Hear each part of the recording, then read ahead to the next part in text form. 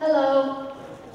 I was actually at another evangelism planning meeting today at a different church when I got the call that you were ahead of schedule. So I jumped in my car and I drove over here a little fast. And these two guys on the highway thought I was racing them. So the faster I went, the faster they went, and if I slowed down, they slowed down. They pulled in front of me, put their brakes on, I passed them, put my brakes on, they passed me. They took the Raytown Road exit, and so did I, and I'm like, oh no, I'm in big trouble. But thankfully some other cars got between us, and I just hurried up and pulled in the parking lot. So, a little excitement today on the way over here. We're going to have some fun today. This is a class. This is not a lecture. This is a class. There will be a test at the end of the world. How many of you want to pass? Right, you better pay attention then. We're going to talk about how to be prepared to witness in times of trouble. This was the title that was given to me. I think it's a good one, don't you? How do you prepare to witness to people and help them see God in the midst of pandemonium? And we are in the midst of pandemonium already. It's already beginning. Trouble is coming. The Bible says that we live in perilous times. We know this, right? We live in perilous times. It says in the Bible there will be great tribulation. If you were here last night, we thought about this for a little bit. There will be great tribulation, not like we've ever seen before in the world. How do you lift up a God of love in the midst of horrible things that we've never seen before? It's a good question, isn't it? The Bible says there will be famines and pestilences and earthquakes in various places. Is that happening? The prophetic time clock has already been set. We are already seeing prophecies being fulfilled before our very eyes. The Bible says in Matthew 24, the generation that sees all these things they're the generation that's going to see the, the second coming of Jesus. We are seeing these things, and the Bible says in Matthew 24 that he who endures to the end will be saved.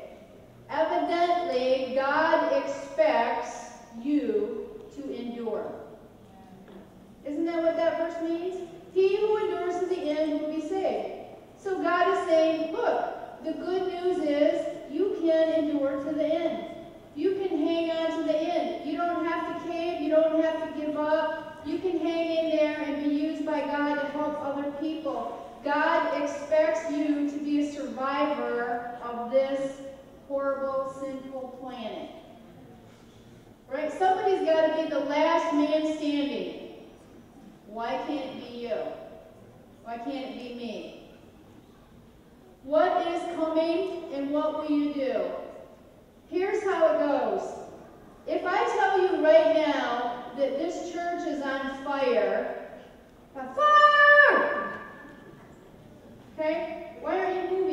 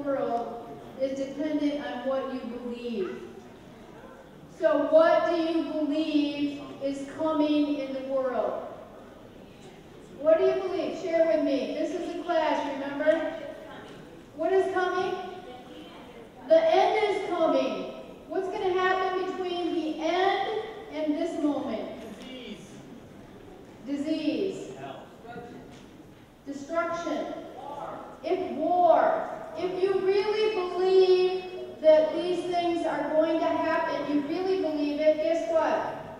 You're going to be prepared. It's just plain logic, isn't it? If I believe it's going to happen, then I'm going to be preparing for it. So what your level of real belief determines your level of preparation. So you need to sit down and have a little talk with yourself. Right? You need to sit down and have a little talk with yourself and decide what you really believe is going to happen. As you read the Bible, what do you see is going to happen? And when you see that from the Bible, what are you going to do about it? What are you going to do? And that is just basic common sense. That's what God wants us to do. Reason with Him, think it through, decide what you believe, and then do something with what you believe. So if you really believe that these things are going to happen in the world, then what can you do to be prepared to help people see God? Isn't that what witnessing is? Help people see the love of God in the midst of horrible disaster. That is a struggle. Is that not a struggle?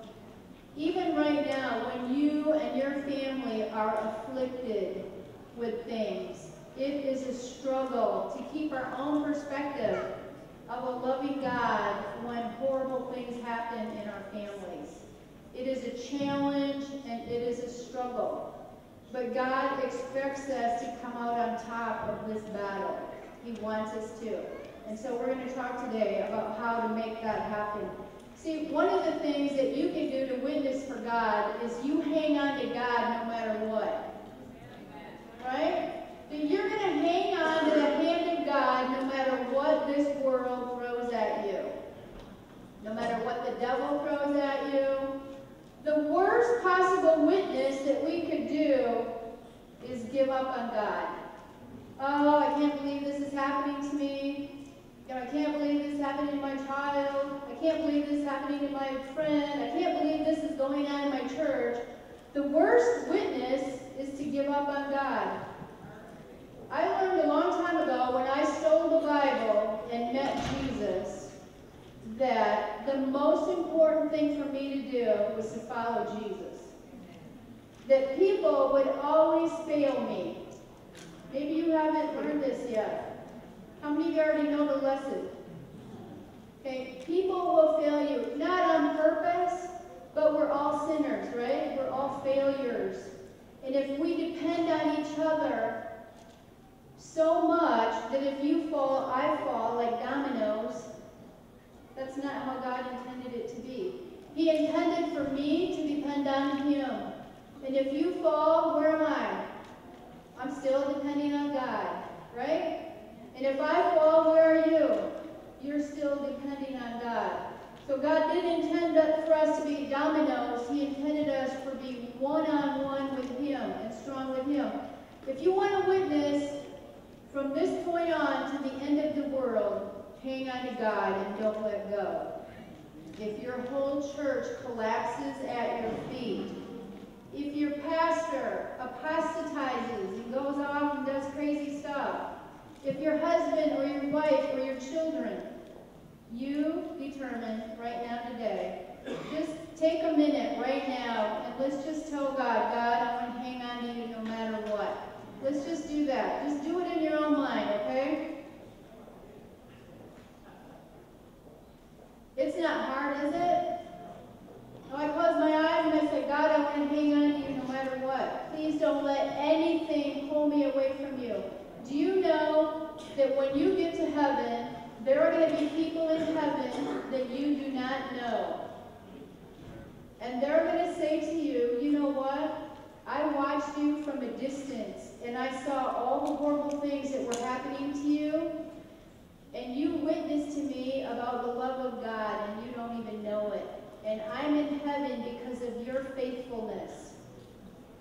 If you want to be a witness at the end of the world, Follow the Lamb. Period. Right? You follow the Lamb. I follow the Lamb. You also need to rethink what you believe. If you want to witness to other people about the truth about God, you need to understand the truth about God. So I'm challenging you today, and I'm going to give you homework at the end. Remember, this is a class. So, of course, you have homework, duh. So, you're to have homework. One of the things I want to challenge you to do is to go rethink what you think you believe. It's easy for us to get so complacent about what we believe. Take one truth that you think you believe and study it until you can teach it to somebody. Do not stop on that one truth until you know it well enough that you can teach it to somebody else. Is that fair enough? You don't know it until you can teach it. Until you can share it, you do not know it. So, it's very important. This is uh, what my website. You can go here and you see where it says Be New Now Lessons. If you want a little help in understanding the truths of the three angels' message in a very personal, practical way, go there, print out those lessons. They're just Word documents, and there's only questions. You should get your answers from God. Right? Just work through those questions until you know that truth. And even if you didn't have a Bible, you could share that truth with other people. Look at the disciples in the New Testament. They were in jail. Did they have scrolls with them? Did they have Bibles, DVDs? How did they share the truth in jail with people that were in jailer, in jail and the jailer so that they became Christians? How could they do that? Get the point? They could do it because they knew it was it was part of them. They had thought it through and thought it through, and they knew Jesus was the Messiah. They knew all the scriptures that related to that. They saw, saw the whole big picture, and they could boil that down into a few things to help somebody else learn. And that's what you need to do. We do not have time today to go through every major truth in Revelation 14, the message for the last days. But you could take the next few weeks and go through every one of those points until you can teach it. Um, we moved here from Iowa about a year ago, and there was a guy that came to some classes that we did in Iowa, and he learned, he was learning, you know, how to teach the truth to other people. And so he wanted to practice. He wanted to learn it enough so that he could teach it. So he went home, and his wife is not a Christian. And he said, honey, please let me practice on you. She said, no. Please, just let, I'm taking these classes. I need something to practice on. She said, no. He said, all right, man. I'm going to convert the dog. so he sat in the living room and he gave Bible studies to the dog. And that dog's going to be in heaven, If you can't practice on somebody else, take one thing, learn it, teach it, teach it to something. Go convert a tree and speak it out loud. It, it's easy to know the truth in your head and in your heart. It's a whole different ballgame to speak it out with your mouth. So you need to practice. At the end of the world, and between now and the end of the world, there are going to be people in your path who want to know about God. And you are going to have to speak it with your mouth. And it will be easy. If you know it in your head, you know it in your heart, and you've practiced, it will be easier. It's time in this world that we get ready for what's coming. We know what's coming. We've been told for years. We have volumes of books telling us, get ready, get ready, get ready.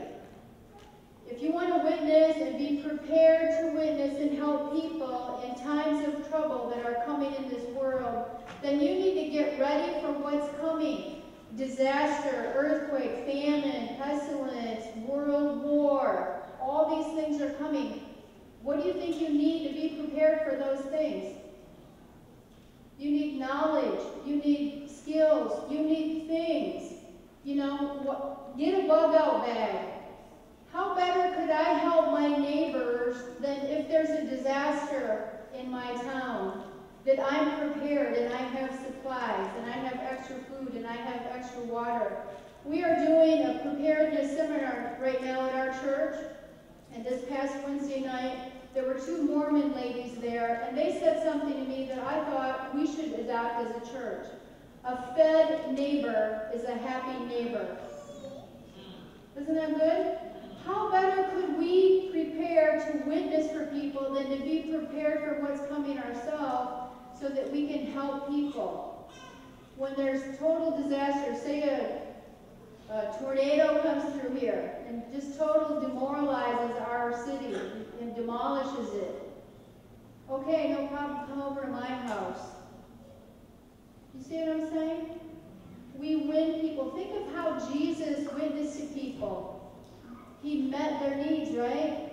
He met their physical needs, and then he won their heart. We can do the same thing. If you believe what is coming in this world, you prepare for it.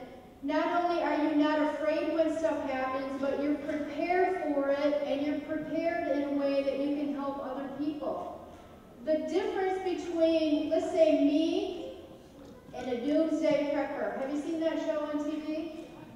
Okay, I'm a Christian preparing for what's coming in the world. A doomsday prepper says, I'm going to prepare to survive myself, and if you think I'm going to help you, I will shoot you. Isn't that like stockpiling ammunition and stuff, and, you know, putting electric wires all around my property because I'm going to keep you out? Okay, that's not what I'm talking about. I'm talking about be prepared to let people in. Be prepared to help people in need. I can only do that if I'm prepared myself. I can stockpile some food and water be prepared. I can learn some things about medical emergencies. There's a book, and on your handout at the back, I have some resources for your homework. But there's a book called Where There Is No Doctor. Do you realize that we've been told as a church for over 100 years that we should learn medical emergency skills because at the end of the world, that is one way we can reach people for God. When all these things in Matthew 24 are happening, it will overwhelm the medical system. And we, if we have a little knowledge, we can help people and maybe save a life. So what we're, we're learning, we're not just learning for ourselves, we're learning to help other people. And it's very important that we do that. People are hurting today. Have you noticed?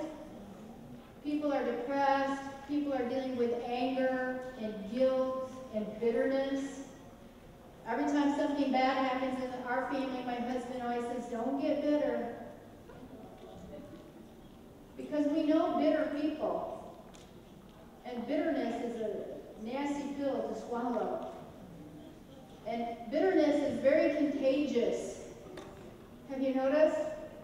Very contagious. How do you deal with anger? How do you help a person that has anger issues? How do you help a person that's depressed? Here's what we've done. We have said, okay, I'm a Christian, you're a Christian, right? So here's what we said. Let the pastor deal with that. Right? I have a friend, they're bitter. Go see the pastor. What is wrong with that? We need to figure out how to deal with these things a biblical point of view and then be able to be used by God to help people. As people, one out of three people die of cancer right? One out of two Americans die of heart attacks and heart disease. Over half of people are divorced. Like, you can look up the statistics, right? Depression is rampant. Diabetes is rampant.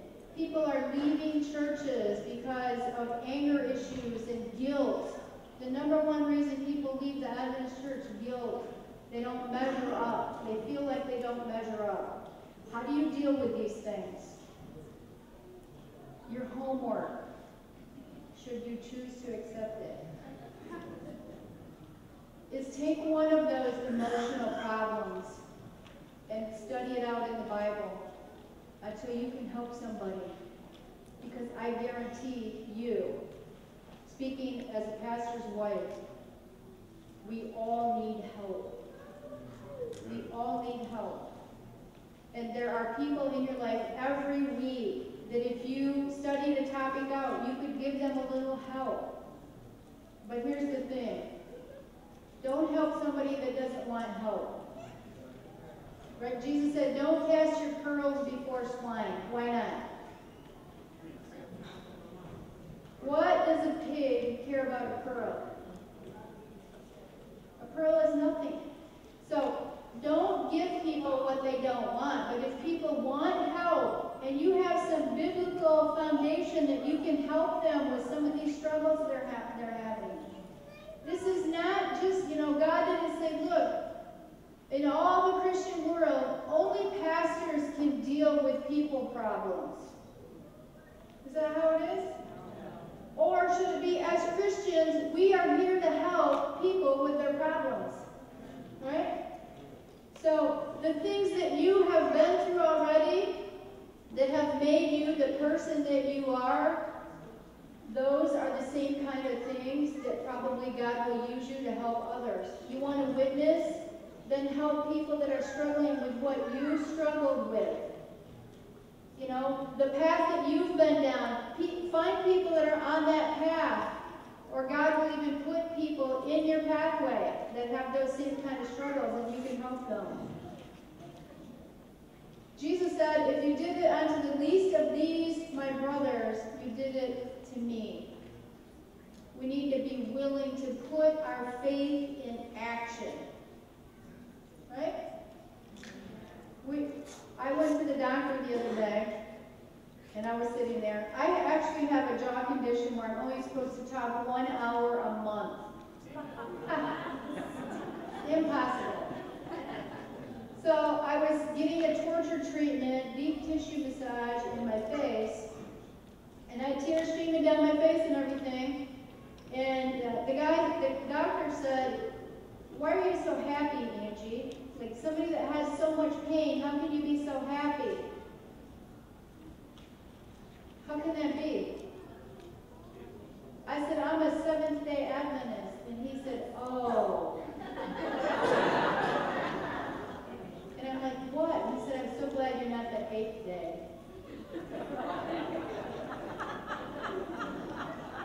I thought it was cute. I said, I'm going to use that.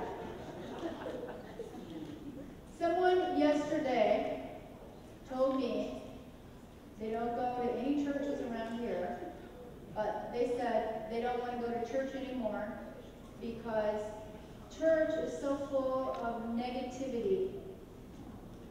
Negative, negative, negative. And this person who is not an Adventist but has been attending Adventist church said, I go to worship God and it should be a happy, happy day. Isn't that true? Do you think that's true? God wants us to be happy. He wants us to be looking for people, and He wants us to do unto others as we would have them do unto us. If you want to witness, witness about what makes you happy. What is it that makes you happy? Are you happy? Do you have joy? Or, look, there's, are there bad things happening in the world? Are there good things happening in the world? I just came from church. Somebody at church today told me, Angie, this is terrible. I can't believe it. Negative load. Right? Negative load. Is that witnessing? Okay? So I said, hey, keep it positive. Keep it positive. Try to lift it back up. If you think about your own life, are you overloading on the negative or overloading on the positive? And which of those is the better witness for God? See, I have chronic pain. I'm just telling you from my own experience. I have chronic pain. I can sit at home and cry, or I could be standing here talking to you and laughing. Right? you you can, if you're depressed, you can sit home by yourself in a dark room, or you can come here and sit with all of us and laugh. Which is a better witness? Depression is real, pain is real, grief is real. It's all real and it's horrible. And it's all going to end at the end. And in the meantime, why don't we just fellowship together in spite of it all? Right? They will know we are Christians by our love, not by our doctrine, not by our bickering, not by our debating,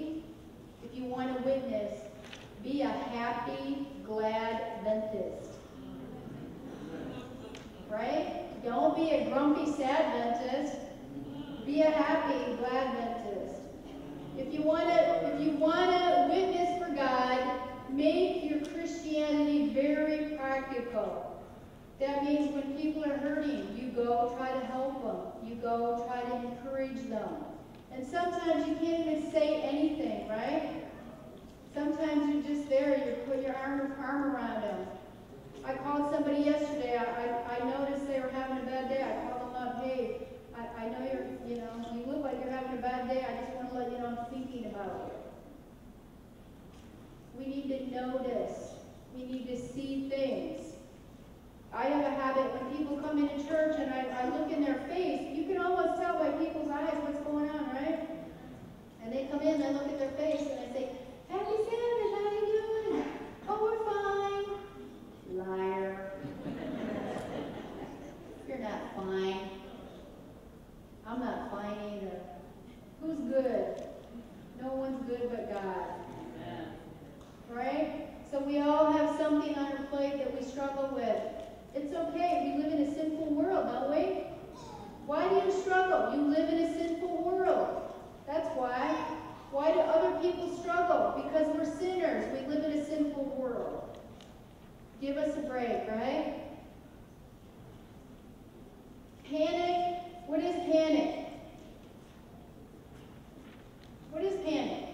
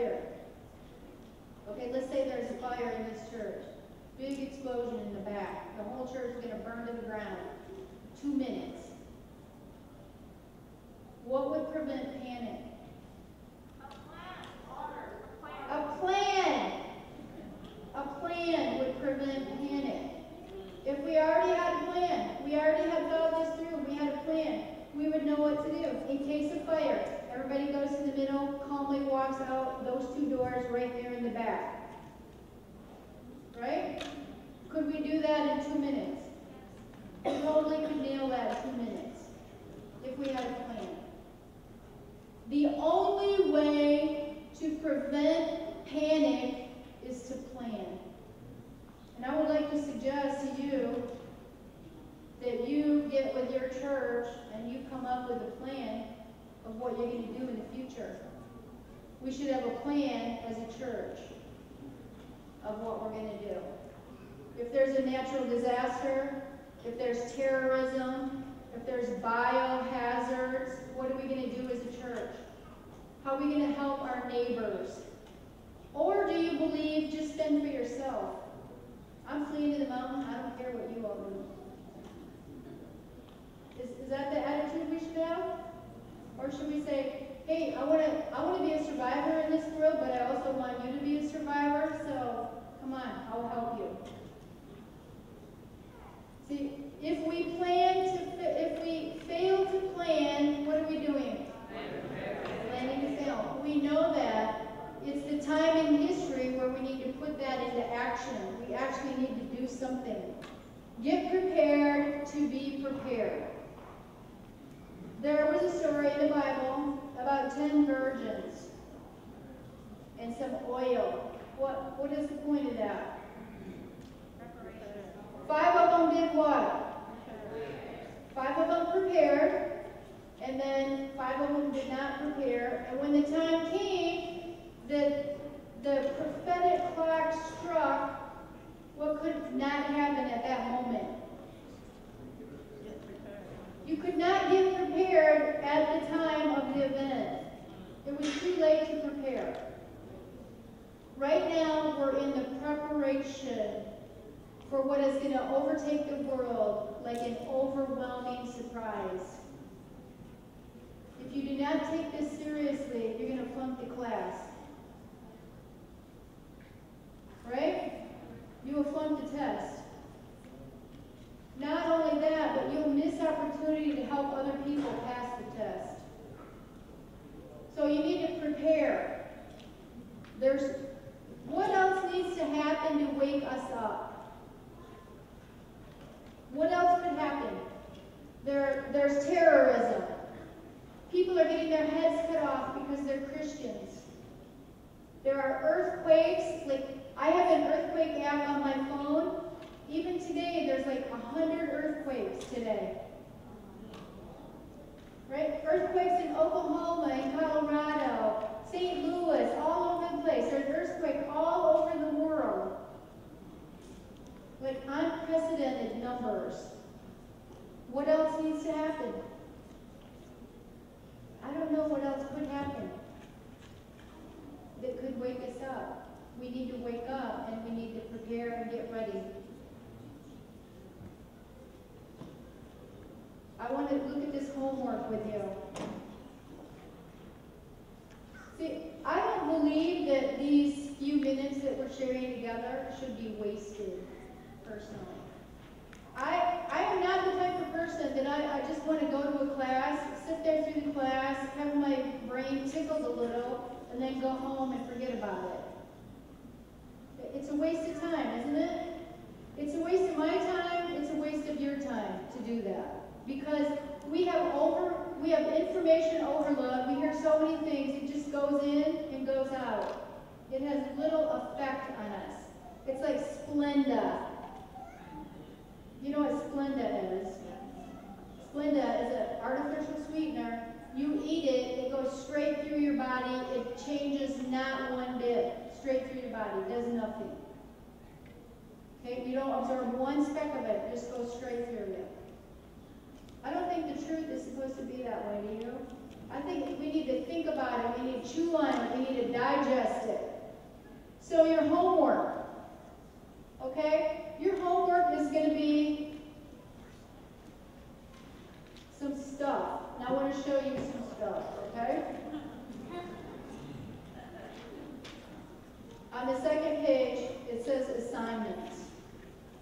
Now I'm just trying to share some things with you that have helped me. I think they would help you to help others. Witnessing is helping other people, right? But the only way I can witness is if I have been helped with that myself. I can't authentically share Jesus with you if I don't know Jesus.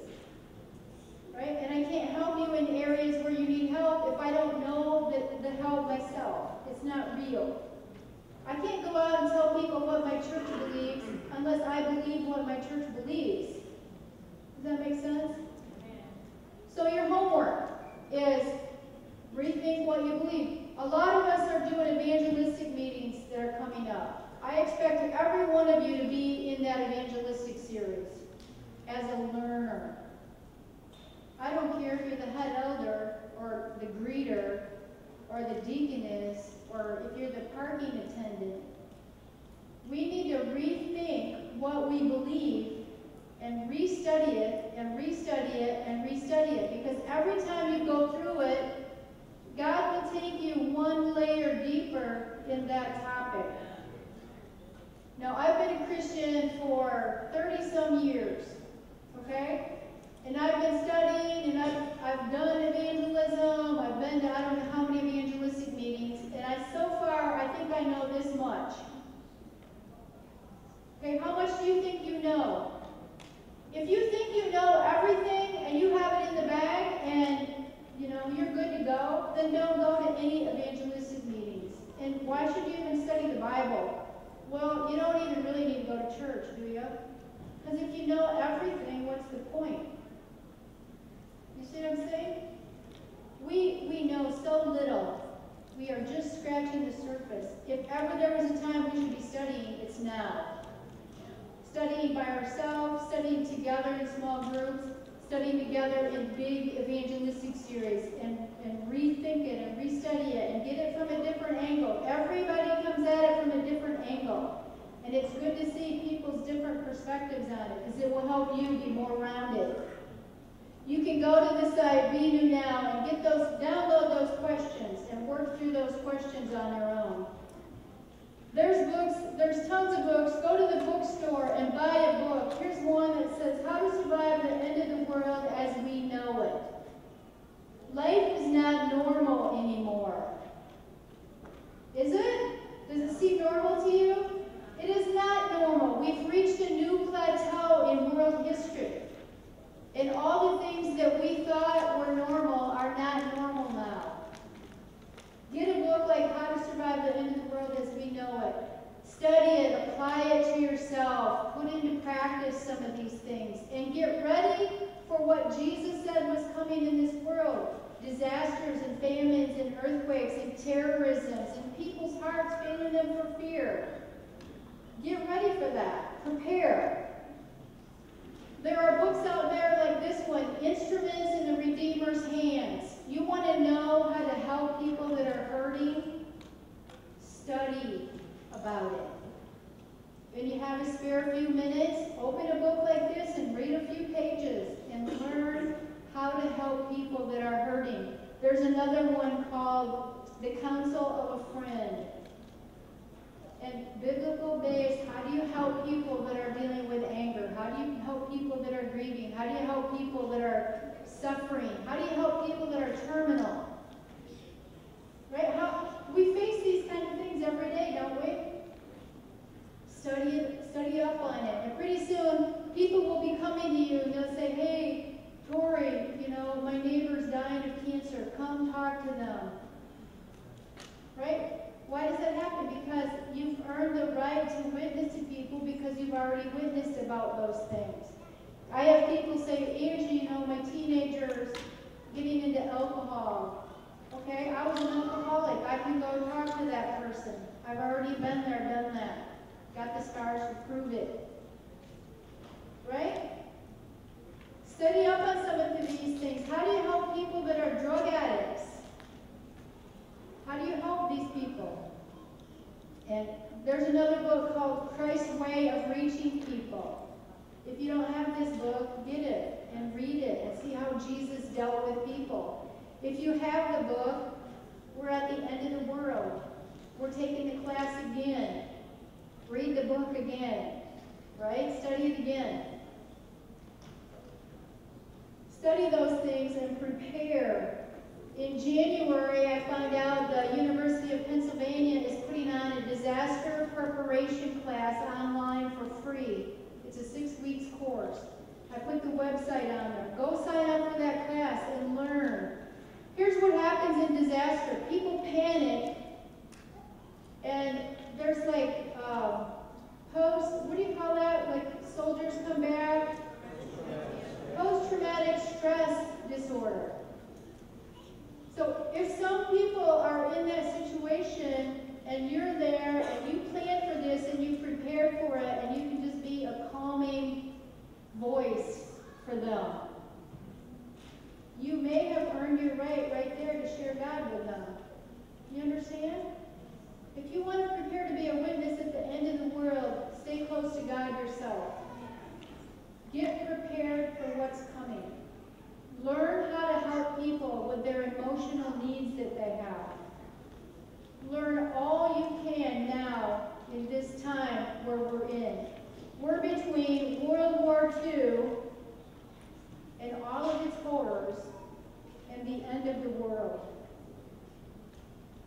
Right? It's the Friday of the world. The end of the world is going to come. And God, more than anything, wants you to help his people be ready. So get ready yourself. Do you have any questions about what I've shared? Remember, this is a class. The questions are all right. Just you and me. Any questions? Yes.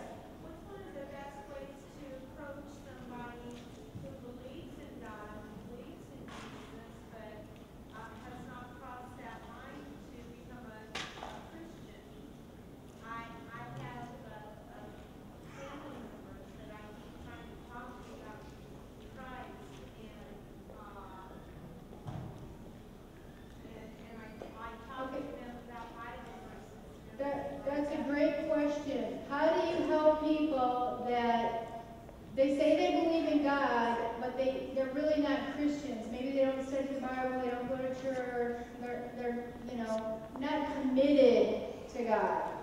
Like my sister one time told me, I believe in God, but man, I don't want to make him my whole life like you do. Right? So how do you help people like that? I think one of the best things that you can do is exactly what Jesus did. Invest time in those people. And let them drive the agenda. You do not drive the agenda in witnessing. The person drives the agenda. The Bible says, have an answer to give to everyone who asks you. What does that mean? Ah, Saturday Sabbath. When you die, you sleep. Don't you know that? What am I doing? Did he ask me? You know, do you, how many of you feed popcorn to a, a three-month-old baby? Please don't raise your hand. we don't. We need to wait for the moments. To, we need to. We need to know the truth to be able to teach it, and then teach it to people that want to hear it, and stop trying to cram truth down people's throats. The worst thing you can do for your family is talk at them about the truth when they don't want to hear it. Take them out for lunch. Take them out for dinner. Go if they like to do something, go do that with them. You know, if they like to go to ball games or you know see the Royals and win the World Series, go with them. Do do with them what they like to do, and pretty soon they will begin to ask you questions. And when they ask you a question, because you've been studying it and you've internalized it and you own it, you'll be able to share it when they ask the question. Back off. We trying to win arguments with our family. We are trying to show them the love of God. Does that make sense? If people are resisting, I call it the dance. Okay? Mick, come up here with, for me for a second. So if Mick is my family member, horrors. Not me talking right If, now. if Mick is my family member and I and I'm a Christian and he's not, and I come at him with something about God, you know Jesus. If he starts resisting in any way, and you know how they do it, my mother was the same way. Don't talk to me about that garbage. That's what my mother said. So what I can do is back off. If I push more, what's going to happen? He's going to push back. Pretty soon, if Mick sees me, he's not even going to want to talk to me at all. So I need to find out, ask Mick questions. Jesus was a master at asking questions. So what does Mick like to do? What is Mick thinking about, right? And let him pull me into him instead of me imposing myself. Let, let the relationship just draw based on Mick's agenda, not mine. Does that make sense? If we push and push, you know what? Jesus told the story about the, the rich young ruler. Jesus said, Follow me. What did he do, the rich young ruler? What did Jesus do? Did he like get right in his face? You can't leave me. Is that what Jesus did? You're not going past me. I said, Follow me. No, I mean it. Follow me. What did Jesus do? He just let him go. He didn't whine, he didn't chase him, he didn't try to force him. Sometimes I think in our families and with, with our friends, we love them so much, we want them to, to follow Jesus, that we push back off. Even, you know, as going, going door to door and doing evangelistic thing, one of the best things you can do, if somebody invites you into their home, don't go in. Don't do it. Because if you're there going door to door and they invite you in, they don't really want you to come in. Right? You don't even know them, they're strangers. Don't go in, don't do it. Back off. And if you like rethink as you study the Bible, read the New Testament again, and see how the disciples and how Jesus kind of did the dance. Jesus, even with the Pharisees, he went forward a little bit, especially in his early ministry. He went forward a little, and what did the Pharisees do? Push.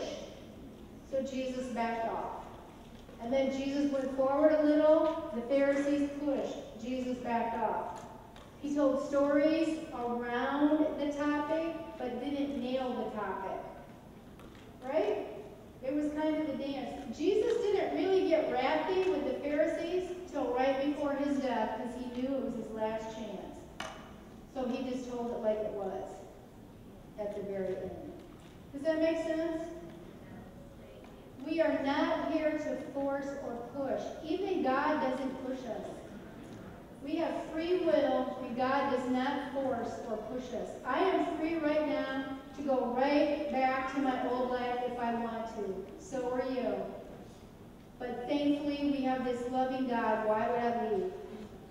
Right? Any other questions? Yes. Okay, it's a bug out bag because you're going to grab it and bug out. Okay? A bug out bag is, contains everything you would need to survive for a period of time. So it has, it, it would have in it a way to get water. It would have food. It would have a way to stay warm, shelter. Okay, it would have a way to make a fire. It would have all the essentials that you could grab a bug out bag, walk off into the, the woods, and you could survive. Now, that means if I could survive and you didn't have a bug out bag, I would share. Right? So, not only survival for me, but maybe survival for you. Uh, my husband and I were backpacking once, and it was really cold. I went to pour water in the pot to boil some water in the morning, and as I poured, the water froze going in and was frozen solid in the pot. It just so happened that about 20 minutes later, I fell in the river. I did this stupid thing, and I fell in the river. And it was so cold. So, you know what? We had a sleeping bag. My husband hates cold, but he saved me. I got in the sleeping bag, and he let me put my feet on his bare chest so that they didn't freeze off. The best thing you can do to help somebody in a situation is get close to them and help them. And it may cost you something. It may be uncomfortable. I'll tell you what, I believe that we are going to be very uncomfortable at the end of the world. But if my discomfort would save somebody for eternity, then I say it's worth it. How about you? Any other questions? Yes? Um, they're all on your handout, the books. They're in the homework section. I would say, you know, spend some time, dedicate some time. Do the homework, learn some things. Yes? What? You have a question?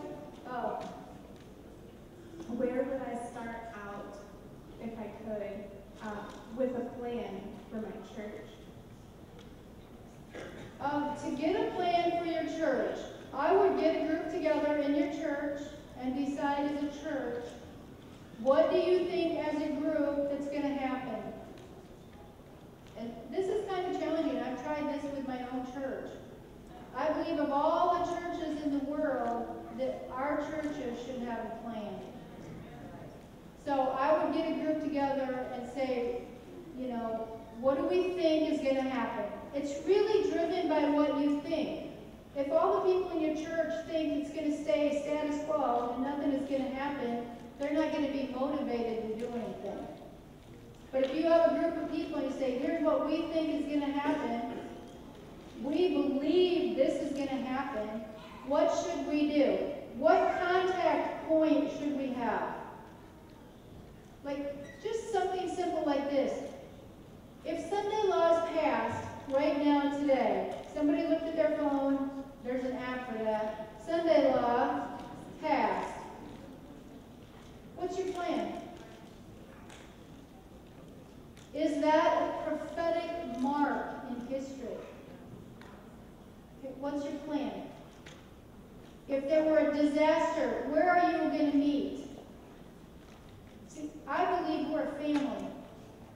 Are we a family? We're, our church is a family. Where are we going to meet in a disaster to make sure everyone is accounted for in our family? It's time we, we treat each other like family. My daughter was just in the California earthquake a few weeks ago. At 3 o'clock in the morning, she called me, Mom, earthquake, I'm standing at the door with my bug out bag. I'm ready.